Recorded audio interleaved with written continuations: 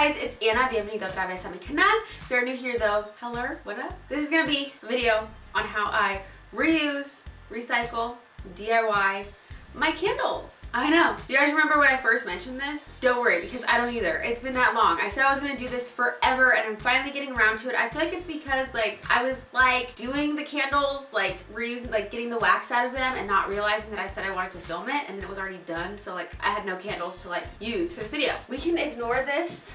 I did this to my wall, what was it, last year? When I took down the calendar, I got a new calendar, or I need to get a new calendar. So we can ignore this happening because yeah. I feel like now is the time of year when we're like buying a ton of candles or we had just bought a ton of candles for like the holiday season. We were gifted a ton of candles and so we're using them all up and it's like what do we do with the jars, the pretty jars the candles came in. You don't want to just like throw them away. You can easily reuse them for a ton of different stuff. I love doing this because I need a lot of storage things and I like for some items to have clear containers to like organize my stuff in. So I have a few that I've already cleaned out. These were once candles and I burned through the candles, took out all the wax and now it's a really pretty storage. Looks very expensivo, class hay, very nice. So this was a candle that I got just from like TJ Maxx. I'm pretty sure you guys probably saw it in a haul. I don't know if you can see it better on this side, but this actually sits in my bedroom and it usually houses like my crystal bracelets just they're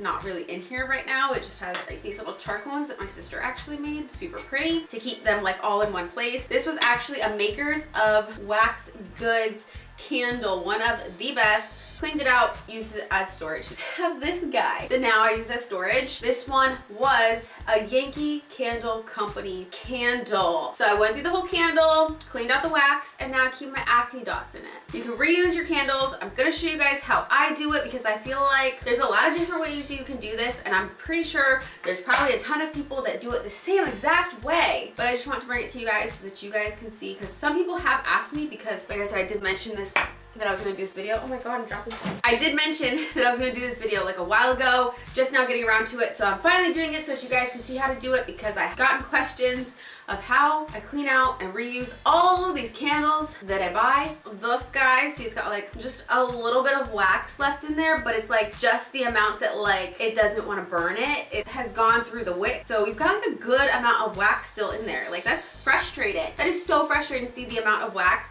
that is still at the bottom of this candle. But because the wick is done, it won't burn anymore. So we're gonna take that out. I even have like chunks of wax just like sitting around that I already cleaned out of candles. Here is another little small one. This is a Yankee candle because Yankee candle is just like where it's at. A balsam and cedar Christmas one. This is a little baby one. This also has little pieces from a candle that I already cleaned out. I need to sneeze now that I smelled that. And these are actually the same candle because they are my number one, numero uno favorito candle scent of all freaking time. It is the Yankee Candle North Pole. Apparently it's their newer version of the peppermint bark. So I've got two of these candles and so these are like the same jar that house my acne dots. So let's get on into this. This is super, super, super easy. I might have to film this over like two days because usually I move them from the fridge to the freezer and then I like break it apart or whatever We'll get into it. Obviously, you're going to need your candles that you want to clean out that only has a little bit left in there. The wick will no longer burn, but there's still wax in there. You want to reuse the container. So much to say. You're also going to need hot water, boiling hot water. There's two ways of doing that. Well, possibly. I guess there's a few ways of doing it whatever. So you can do it this way. This is usually how I do it just because it's got a lot of room in here. Takes a little longer though.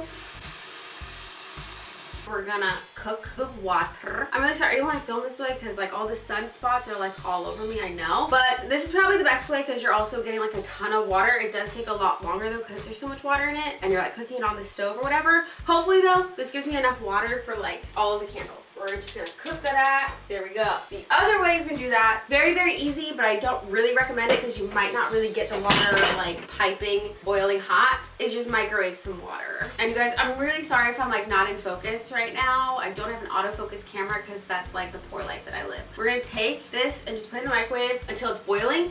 You'll know it's boiling when it starts to like bubble over. I don't really like doing it this way, but I mean, if you don't have a pot thing like that or like something else, like a heat warmer, like a water cooker, I don't know what they're called, you can just put it in the microwave. I don't know how long it takes to like boil water in the microwave. I'm gonna put it for two minutes because I'm not actually gonna use this right now because I don't like doing it this way. Or you would just microwave your water until it bubbles, which means it's boiling. But I have water on my stove that I'm actually gonna use, even though it's gonna take like 20 minutes to cook. This is the waiting for my water to boil dance. Waiting for my water to boil dance. Waiting for my water to boil dance. An hour later, it's hot and ready. All you do is pour it into the candles and it's gonna melt the The wax is gonna melt up into the water and like create like a little top part. I know because this one's kind of far away, but I have one that's like close for you also. All right, but so you just pour the water in here. I usually pour it like pretty close to the top. I don't know why, I just do. Because you want to give it enough space though. See how caliente? You want to give like it enough room to like actually melt off of here. Otherwise, it's, if you don't put that much water, if your wax is like only to like here, you only put like this much water, it, it, like where is it melting to? Nowhere. So you got to give it like water space, you know? Put the water up high. Just, just do it. All right, so there's the green one. It's a going. We got these two. And even how like those two Yankee candles, my like North Pole ones, it has like uh, a kind of cinches in a little bit. Like it's got like a really skinny mini waist. Cinches in. Don't worry about it. I'll tell you guys how to get through that issue once it's done melting. Unless I'm gonna add it to the last one.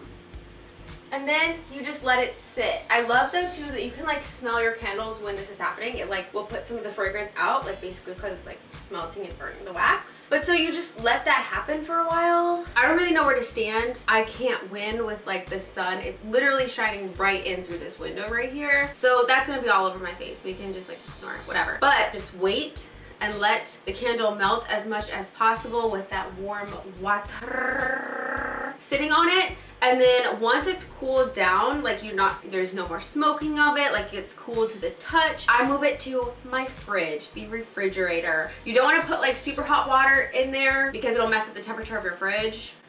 But also if you put it into the fridge too early, it defeats the purpose of melting the wax. You want it to fully melt as much wax from the bottom of your container of your little candle jar as as possible. Might have to do this process twice, two times through. That's usually how I do it. Also because sometimes the wick does have like a little metal disc at the bottom that most of the time even though all the wax comes up from the bottom of the jar usually that wick the glue stays at the bottom of it and you want that to come off also. So I usually suggest doing this two times through unless you have a super small candle or it just didn't really have that much wax left at the bottom and then the glue on the wick isn't that strong. How many times have I said the word wick, candle wick. This is just the first time through. Once it's cold, the water is completely cooled down, not hot at all. Don't do anything to it. Just move it straight. These are still like slightly warm to the touch, but they're not like burning hot anymore, like steaming hot. Basically all of the wax came from the bottom up. So like melted up from the bottom and now it's up at the top. Cause like this one was actually the only one that like still has wax down at the bottom that's gonna need to come up. But I, am gonna do all of these through a second time because all of them still have the wicks stuck to the bottom. But so now this is just the first time through. I'm gonna put them in my fridge. So I'm just gonna sit these one by one in my fridge. I'm gonna move these avocados. So now we gotta freeze those a little bit. It just makes them a little bit easier to handle. You don't necessarily need to go through this first round of putting it in the fridge. I just, I think it's easier. I just heated up some water. Grab everything out of the fridge, in the fridge.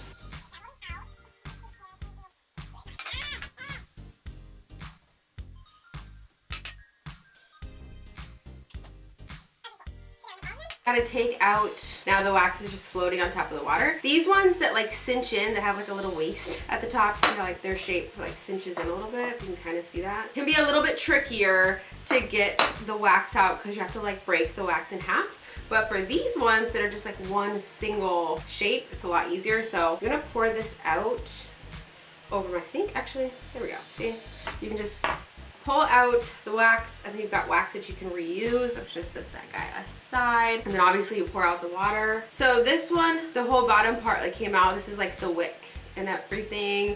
But there's like still a little, like a few pieces of wax, just like you can kind of see it on the glass. So I'm gonna run hot water through it just one more time just to get everything off the edges and then basically this one will be done. So this one out. This one's pretty easy too. Would you look at that, guys? This one still had like a lot, like a good amount of wax at the bottom still. So we're definitely gonna have to do this one a second time to get everything off of there.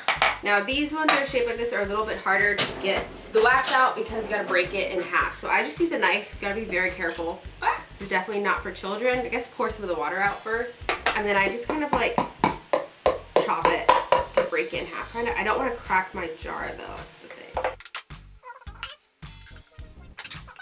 Just cut it into little pieces. This one actually came off really nicely too, but I probably will run hot water through it again. The wick came off of the middle. Yay, some of them come off easier than other ones, you know? This one actually, I rinsed it out. It looks like basically everything came off of it. So maybe it doesn't need to go with hot water again. I'm just not realizing how much of this candle was like left. This is like super thick.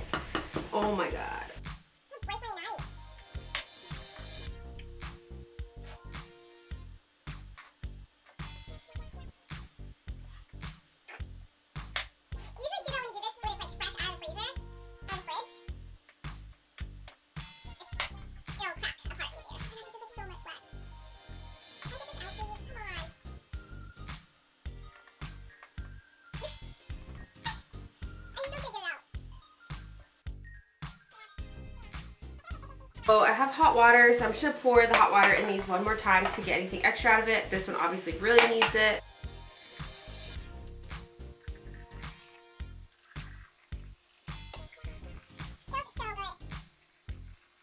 So now while these are steaming and all the yummy smells are coming off of them. So to get the stickers off, if you want to reuse these jars, a lot of times I kind of let them soak in water for a little bit, like fill them with water here and then maybe sit them in like a bigger bowl so that the stickers are sitting in water. And then after that, you just peel off as much of the sticker as you can. And then if you use like a Brillo pad and just scrub, scrub it off with regular dishwashing soap, usually it comes right off. You can always use Goo Gone also after you peel off the sticker. We're basically done. So we're just gonna let these sit through. Um, what I like to tell people too, if you still can't get stuff like off of the bottom, like the glue with like the wick off of the bottom, after you put it in the fridge and it's cooled down in the fridge some, if you put it in the freezer, it really like just like congelados everything off of it and you should be able to scrape off the glue with the wick at the bottom also if you're finding it a little bit harder to get it off. Little tip too, I kind of don't really like leaving them with the hot water directly on my countertop because I have like marble or whatever countertop. I don't even know what this is actually. I get scared that it's gonna mess up my countertop so I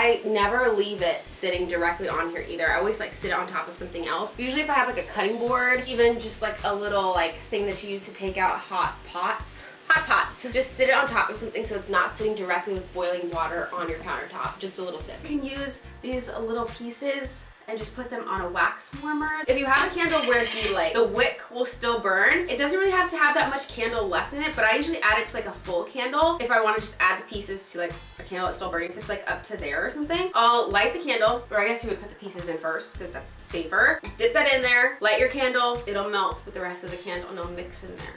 So easy. Like I said, put these on a wax warmer because I think I have like two of them, but I usually just add them to candles I'm already burning. But so yeah, so that is everything for this video. That is how I take my candles that will no longer burn because the wick has given up on us and it will not burn the rest of the wax through.